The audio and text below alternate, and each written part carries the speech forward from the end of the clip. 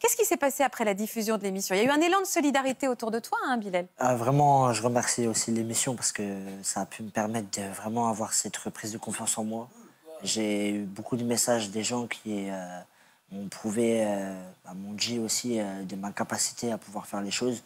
Et, déjà pendant l'émission, j'étais en pleine activité à vouloir tenter de m'en sortir comme j'étais en centre d'hébergement d'urgence.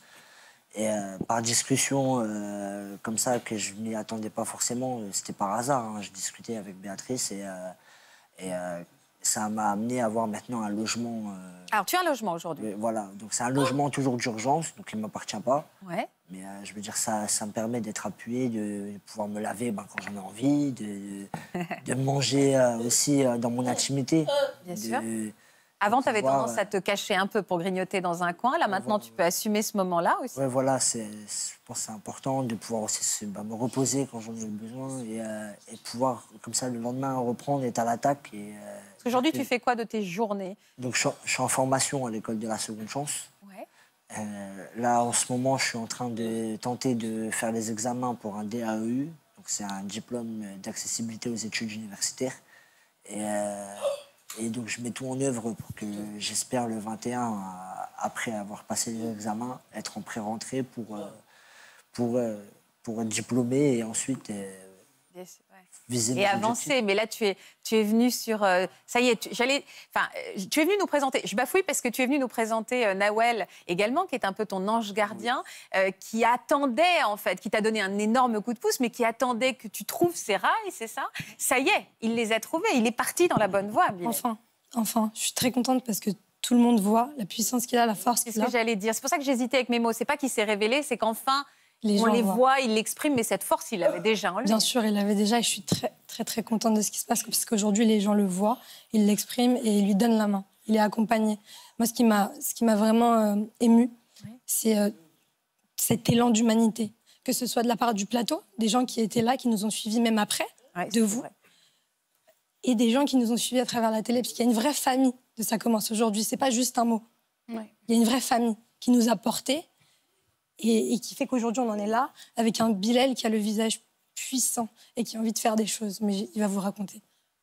Alors, il y a eu aussi, un, il y a eu aussi en effet, il s'est passé des choses extrêmement euh, euh, concrètes, puisque je crois qu'on parle d'un élan de solidarité et de générosité. Nawal, qu'est-ce qui s'est passé juste après l'émission? Alors, ce qui s'est passé, c'est qu'on a créé une cagnotte et que euh, les gens ont commencé à donner de l'argent sur cette cagnotte. On a récolté 17 000 euros.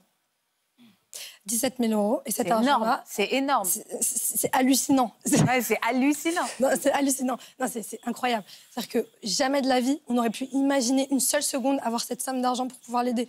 On s'attendait à 2 000 euros. C'était très bien pour payer 3-4 mois de loyer sur Paris, lui trouver un job. 17 000 euros. Ça va lui permettre d'avoir de l'argent de côté, de ne pas s'inquiéter du lendemain. Et je pense que c'est ça aussi qui lui donne cette puissance et cette... Euh, cet ancrage. J'aime bien quand tu te mets devant comme ça, que tu, là, ça y est, tu te mets en mode warrior. Lyon, maintenant tu veux nous exprimer.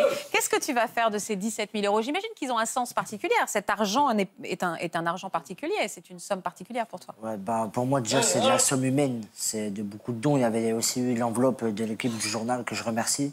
Parce que bah, quand je suis parti, j'ai pu euh, m'acheter du forfait. Euh, et ça m'a permis aussi de pouvoir répondre à tout le monde, euh, tous les messages auxquels je devais m'attendre. Et que même j'étais pas encore prêt, hein, vraiment. Quand, quand, quand c'était encore fini le journal, je me suis dit, il va y avoir des messages, mais je vais gérer tout ça. Mais là, il y a même des messages que j'ai pas répondu parce que bah, c'est trop, c'est submergent, c'est plein de personnes, c'est vraiment ça ça m'a fait quelque chose de, de fort.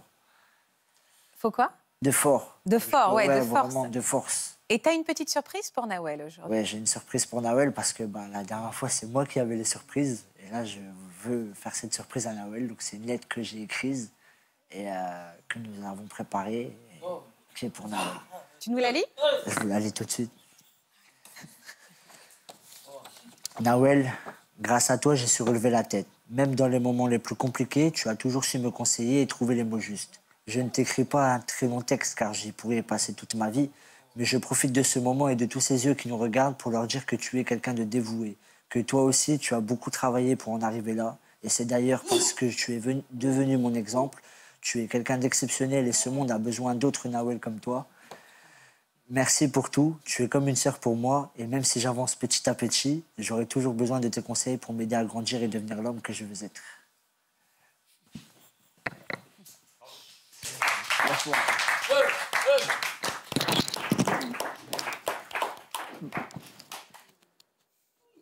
C'est frustrant qu'on puisse pas se faire de câlin parce que moi j'en ferais bien.